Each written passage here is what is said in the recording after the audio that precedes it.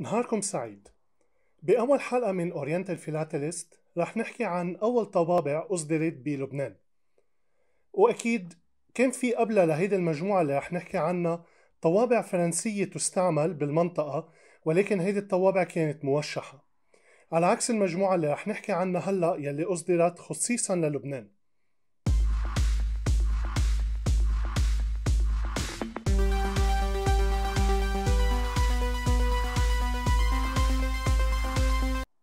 أكيد قبل ما نحكي عن الطوابع لازم نحكي عن الحقب التاريخية يلي كانت بالمنطقة منطقة الشرق الأوسط وعلى أساسها نعرف هيدي الطوابع كيف انعملت.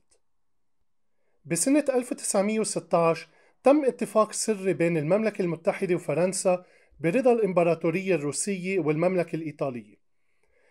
الاتفاقية اقتضت على تقسيم السلطنة العثمانية بعد نهاية الحرب العالمية الأولى سنة 1918 وعرف هذا الاتفاق باتفاقية سايكس بيكو روسيا أخذت منطقة أرمينيا وإيطاليا أخذت جزء من آسيا الصغرى. فرنسا احتلت لبنان وجزء من سوريا وبريطانيا احتلت فلسطين وبلاد ما بين النهرين. المنطقة الباقية من سوريا كانت تحت النفوذ الفرنسي والأردن كانت تحت النفوذ البريطاني. الدول الجديدة يلي أنشأتها فرنسا كانت حدودها غير معروفة من قبل. هيدي بالنهاية دول جديدة. بال 22 من مارس آذار 1920 وقبل إعلان دولة لبنان الكبير قامت مظاهرة ببعبدة احتجاجا على مؤتمر السوري العام. المطلب السابع من الوثيقة للمظاهرة أكد على وحدة المسار اللبناني الفرنسي وحدد السنجق الوطني كعلم فرنسي بنصه الأرزي. العلم صممه نعوم مكرزل واعتمد علم لبنان الكبير بعد أشهر قليلة. الطوابع الأولى للبنان كان هدفها تحديد المنطقة الجغرافية لهيدي الدولة الجديدة.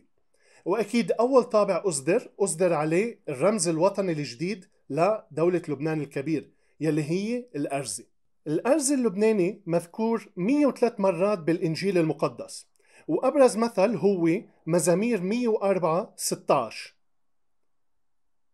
نبدأ بالطوابع اللبنانية يلي بتتضمن بيروت بعلبك بيت الدين المختارة طرابلس سور زحلة صيدا ودير القمر وأكيد بالجهة السورية الطوابع تضمنت المناطق يلي عينت لسوريا وهي حما دمشق لاذقية تدمر حلب الإسكندرون وقلعة المقرب وبهيدي الطريقة بتكون فرنسا أعلنت للعالم حدود سوريا وحدود لبنان الكبير.